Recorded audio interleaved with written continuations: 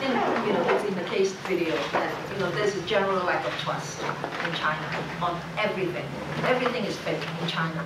So what we are trying to do is, you can trust us. So, so this is the core idea, that is the core value of the company, of the brand, which they didn't have. I mean, before the campaign, Alipay was just the Taobao payment system. People don't even know that it's got a name, it's a brand. So what we try to do is to give meaning to the brand. And I, I mean, well, if you talk about user experience, for Alipay, the best user experience is no experience because you get in, you, you get in, you pay, and then you go out, right?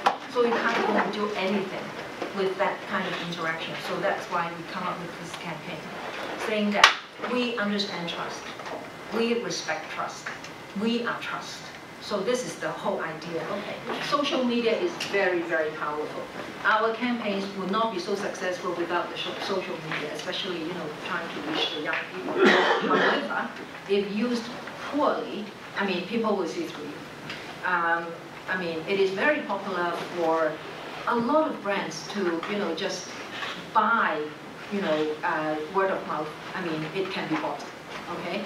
Um, if it is not used smartly, people can see through you very, very easily. So you have to be, again, very genuine and very honest. Uh, very powerful. I mean, uh, basically, Alipay doesn't really have any much media money. We, we do have some media money, but not much. Um, it's very powerful.